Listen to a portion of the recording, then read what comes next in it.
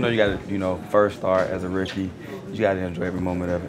When you look around and like Clowney goes down, and at one point DJ was shaken up, you start thinking like, man, how many more hits can this defense take? Yeah, but then you got to think of it's football. Like it's football, the NFL, so you know stuff gonna happen. Like the adversity gonna happen. Just how you come, like with the adversity, how you just climb over it. How um, it seemed like Caleb, you guys had a hard time containing Caleb with his feet.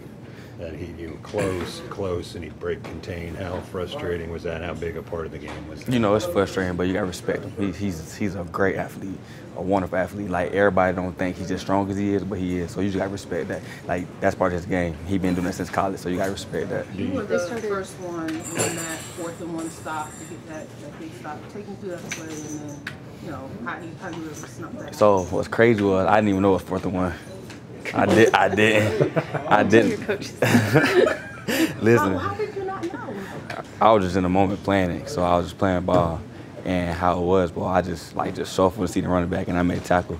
I got up, I was looking like, where everybody going? They was like, you made a fourth down stop. I said, oh, I did.